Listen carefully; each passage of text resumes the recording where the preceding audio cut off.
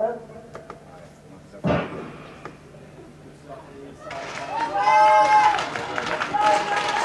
quick start by Taam, lane 6, and also Gletty going well in the middle part of the race.